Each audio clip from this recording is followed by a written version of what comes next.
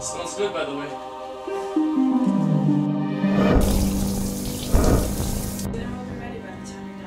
Oh boy. He was, but his mommy came to get him like two hours ago. It's awesome.